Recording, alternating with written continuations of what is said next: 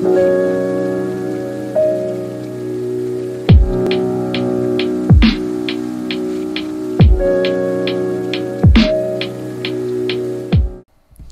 to this edition of Psychic Tips, Tricks, and How To's, what's all about helping you unlock your psychic potential. Let's talk about clairvoyance, what it is, and my top tips to develop and strengthen your clairvoyant abilities. My name is Dar Payment, and I'm a professional psychic medium and channel who is passionate about sharing with you how to accelerate your psychic abilities. When it comes to clairvoyance, there is so much folklore attached to it. Lots of Hollywood movies, oh, my third eye, or some old lady psychic with her fortune telling ball. Something bad's gonna happen.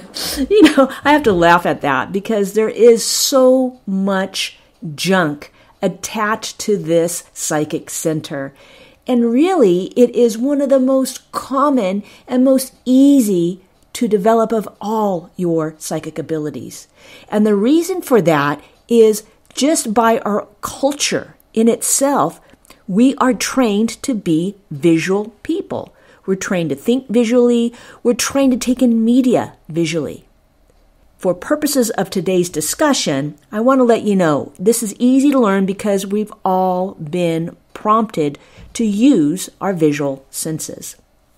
So, what exactly is clairvoyance?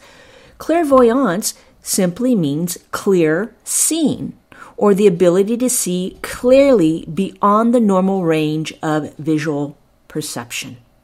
That's it. no mystery to it.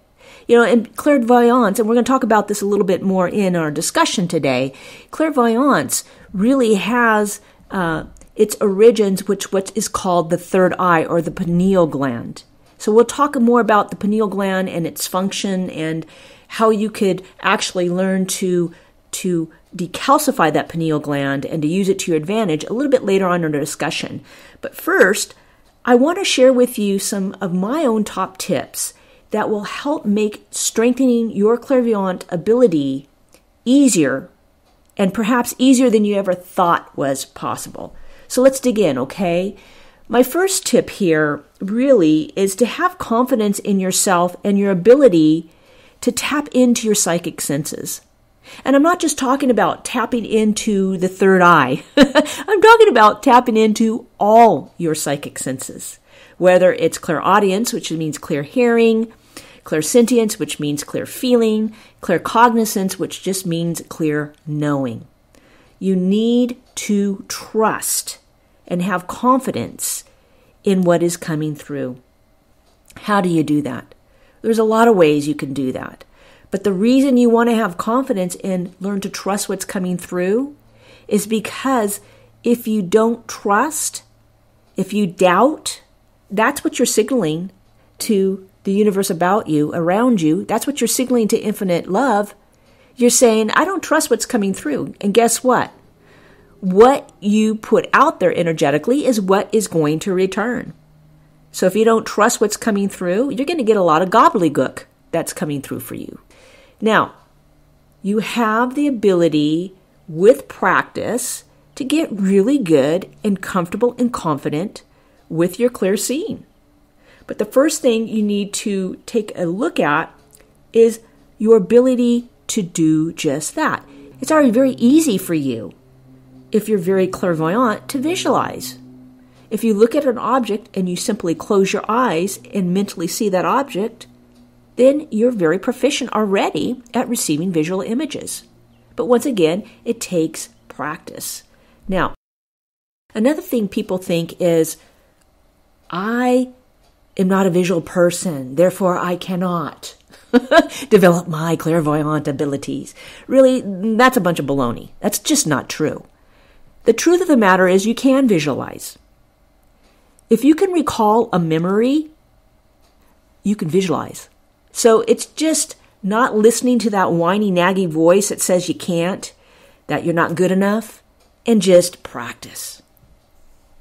Now, here's an amazing, crazy story for you. When I was about eight years old, now I studied in the psychic arts when I was very young, but when I was about eight years old, my teacher, Mrs. Harriet had us sitting there. She got us in a really relaxed state. And she said to us, All right, what I want you to do is focus on one of your parents, which I did. And in my mind's eye, I saw an ambulance with its lights on, and I knew it had something to do with my father. And I felt an immense uh, sort of discomfort around my cheeks and my nose area. And it was so disturbing for me, I immediately opened my eyes and I looked at Mrs. Harriet.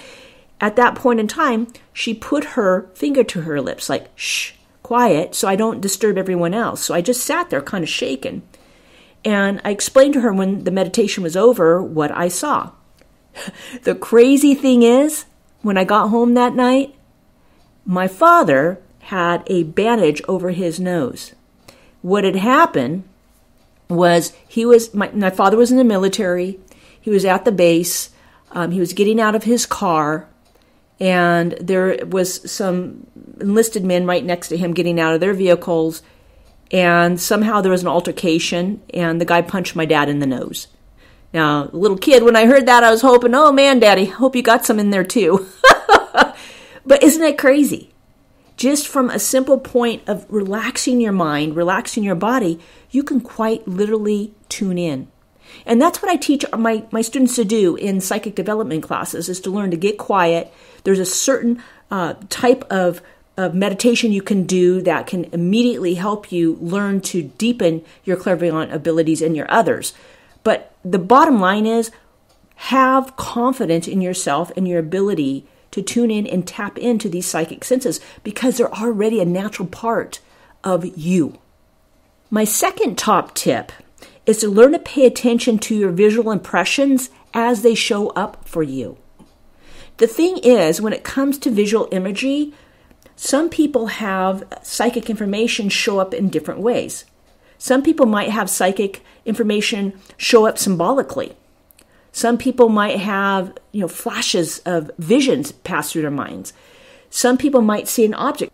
And some people might even see certain images from movies that they've seen pop up. Now, when it comes to symbolic references, let me give you an example what happened to me. So, at this point in time, I was living in Southern California and I had it was early. It was in the um, it was in early 90s, all right? Don't judge here. I had to get a money order, right? Where was PayPal then? but I had to get a, a, money order and for a particular um, amount of money and I had to get it out that day. So I went to the bank early in the morning, came home, put the put the check in a envelope, put it outside into the mailbox. Now when I put it outside into the mailbox and I put the little flag up, there were some kids out there playing. And My neighbors and some other neighbors are just out there playing, riding around on their bikes and everything. And about 20 minutes later, I really had this this feeling, this urge that I needed to go outside and check to make sure that that cashier's check was okay. I opened up the mailbox and the check was gone. And I knew at this point that the mail person had not yet come, but the check was gone.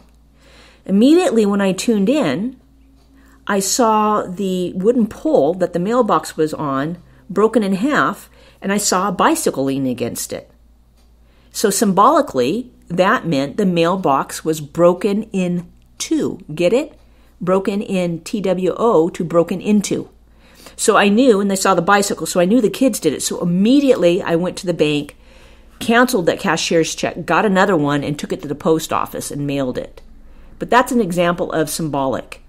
You know, if you see a, a particular vision of a particular part of a movie, then that can also be a symbolic interpretation of what you're receiving. If you see, say, um, a movie where you watched and somebody's father had died and they're all sad, perhaps you're picking up on an impression of somebody who has passed. You know, maybe somebody's father has passed. Or you might see flashes of images going past your mind. Uh, about, um, I would say, about um, six or seven years ago, I was driving home in my car and I had a flash of my husband eating Chinese food. And I thought, and it just flashed. It was just a flash. I thought, that's really strange. Well, I came home and guess what? He brought home Chinese food for dinner. And they had given him a sample of an egg roll while he was waiting. right? And here's the thing when I'm sharing with you to pay attention to your visual impressions as they show up, they may show up simply driving in your car. They might show up while you're in the shower. You know, many times for me, I'm doing another activity and these images will just spontaneously show up, but I've learned to tune into them. Now, here's the thing if you're a newbie and when you're learning to, to develop your psychic senses, just trust what's coming through at that time and place. Don't second guess it. Don't try to rationalize it away. Just jot it down. It'll, it'll go a long way in your development. Another thing you can do is just be extremely excited and grateful that you are receiving impressions right now. You might not understand them, but they're flowing, right? So don't worry about the interpretation. Just get into that habit of paying attention to what's coming through. Now, my third top tip is to learn to work with your third eye chakra. You know, your third eye chakra is connected to what's commonly known as the seat of the soul. And there is scientific evidence that the third eye is attached to what's called the pineal gland. Now, here's the thing all of the chakras in your body, the seven major chakras, are connected to a major gland in the body. The chakras have been proven medically, scientifically to exist. So, for the pineal gland, the third eye, what we want to do is to learn to utilize that to your best benefit. Now, one of the things you can do that is what's called third eye tapping. Third eye tapping is really interesting. I've had great experience with it, and so has my students. But when it comes to pineal gland tapping, what you simply do is lightly tap right between your eyes. Just tap. You want to tap hard enough to where you can feel, not to where you knock yourself out, but you want to tap hard enough to where you can feel it vibrating. Just on the outside, right between your eyes, it'll tingle. And if you do this right before you meditate, and I like to do this before I do a reading for people, I just tap it three or four times, you'll notice this pleasant tingling sensation. The other thing you can do is what I call om humming. You've heard the monks, all the Tibetan monks, that beautiful om, and it, it kind of vibrates. Om. You can do the same thing and hum it and when you hum, don't close your mouth all the way. You'll notice when your um, your teeth kind of vibrate. If you put your tongue up right behind the top of where your teeth meet on your gums and you do this humming, and if you focus on that humming, you'll notice that you'll feel it vibrating between your eyes. And if you do that, sustain that for about four to for six minutes max, you'll notice this real amazing tingling sensation. And what you're essentially doing is to help clear that pineal gland. So when you're beginning to awaken and open the third eye, some people might get a little bit of a headache, but that's okay. That's the natural part of this psychic awakening. Some people will get headaches. Some people will feel real tired or some people might feel dizzy. That's just normal, right? Just go with it. Just make sure you have some water near and perhaps a tiny piece of chocolate or something, and that will keep you grounded and help keep those symptoms at bay. Now, my fourth top tip for you is to develop your psychic senses with practice. You've got to practice over and over till you get it right. Just like learning to ride a bike. You didn't learn to ride a bike by just getting on it and pedaling. You did it over and over again. Sometimes you fell down, but you focused, you committed yourself to practice until you got it. It's really fun to be able to practice with another person. It keeps you motivated. So if you can find somebody to practice along with you, go for it. Um, another thing is to read fiction books. I'm not even kidding here. This is something Mrs. Harriet taught me when I was a kid. She said the reason you want to do that because it develops concentration and it also allows your brain to pick up on more visual elements. So, reading fiction books is an amazing way to quickly and easily develop not only your concentration, but also the visual repertory, the, the images that you're calling up in your mind. One thing that you can also do, and this is something Mrs. Harriet had us do when we were a kid, and this is super easy. She would sit an object in front of us and have us close our eyes and mentally recall that image. And just by doing that, you learn to hold the, the, the visual image for longer periods of time. And when you're clairvoyant, the longer you can hold that image, the longer you're going to be able to interpret what's coming through. So instead of having a fleeting image, it's very clear and it's very concrete. Now, the final tip is to keep a journal of your psychic practice. Doing this develops confidence in a huge, huge way. Now, finally, I want to remind you that your intuitive abilities, your psychic abilities are a natural part of who you are. And they're waiting for you to discover them. And when you discover them by practice, you learn to empower yourself with these incredible abilities to not only help yourself, but to help others. And it's amazing the things you can do when you learn to tune in. So get ready to dive in and also have fun. If you enjoyed this vlogcast, I invite you to like and subscribe, and I'll make sure to give you more tools, tips, and tricks and how to's to help you live the psychic life. This is Dar Payment wishing you blessings, love, and light.